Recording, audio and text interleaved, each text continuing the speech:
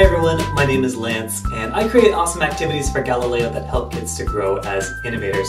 And in this video, I'm going to show you how to build this super fun jumping frog project. The way it works is that these rubber bands get stretched as you unfold these two cardboard squares. When you let go, the rubber bands pull the cardboard back together and launch it up into the air.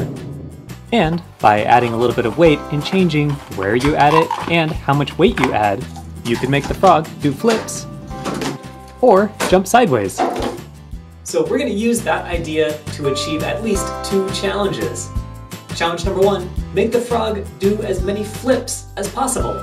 And challenge number two, make the frog jump sideways onto a box. And finally, if you're feeling especially ambitious, there is a bonus challenge of making some paper legs so that the frog lands on its feet at least two times in a row.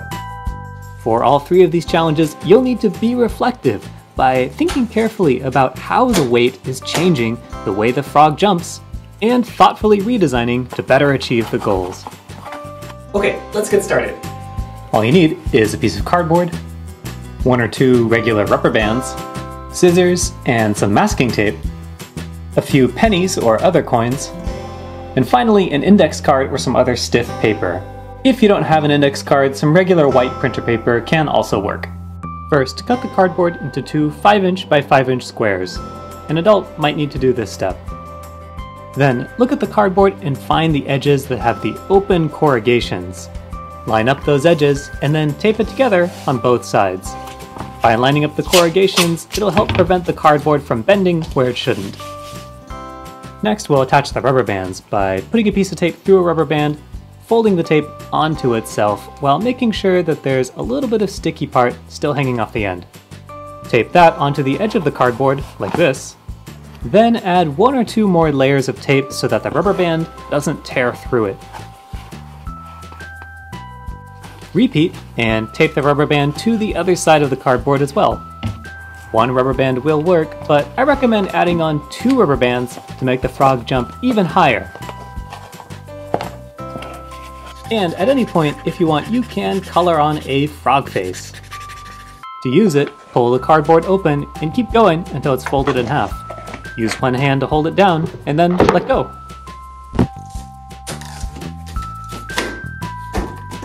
If one of the rubber bands breaks, you can just fold a piece of tape over it and then stick it back on.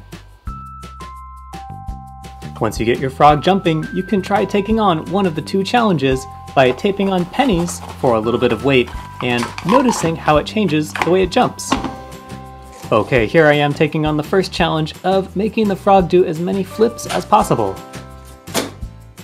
Well, that worked a little bit, but I think I can be reflective by changing where the weight is and noticing how that changes the way the frog jumps. Okay, let's see.